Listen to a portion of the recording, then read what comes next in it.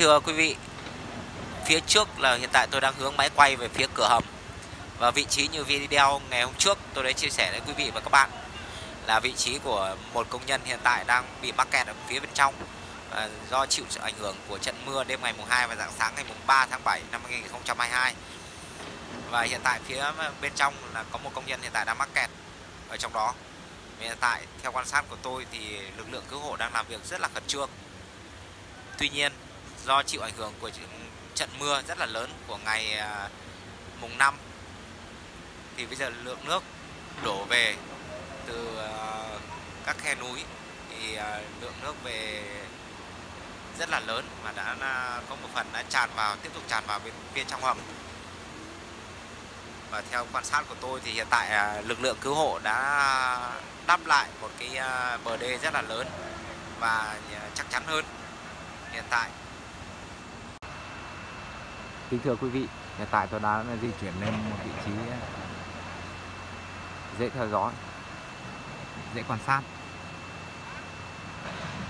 Để có thể truyền tải đến quý vị những ờ, góc quay và quý vị có thể ờ, nhìn rõ hơn. Đây bây giờ tôi zoom lại gần một chút để quý vị xem. Phía cửa hầm kia là hiện tại là lực lượng chức năng lực lượng cứu hộ. Đang di chuyển máy để tiếp tục bơm nước do cơn lũ của chiều hôm qua. Đã đem lượng nước lượng nước ngầm từ bên trong ra cũng khá là nhiều.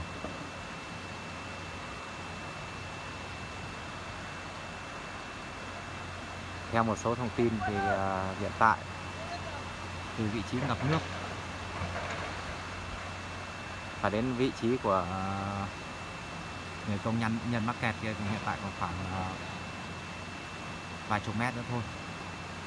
Nhưng không biết là hiện tại thì giờ đến chiều liệu thời tiết có ủng hộ nữa không? Bản thân bản thân tôi cũng rất là lo lắng. Nếu trời lại đổ mưa thì ảnh hưởng lớn đến cái ờ, tiến độ của lực lượng cứu hộ làm việc vì quý vị có thể nhìn đây, phía trên là rừng cao như vậy nếu mà trời mưa to thì cái lượng nước nó sẽ đổ về. Phía hai khe kia rất là lớn.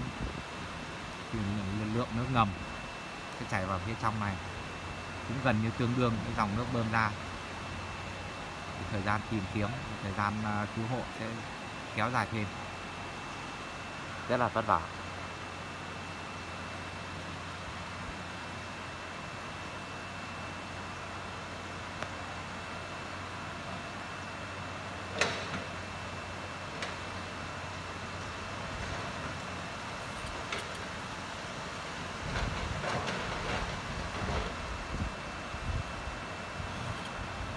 Phía cửa hầm kia chỉ cách quốc lộ 4H chỉ vài chục mét thôi.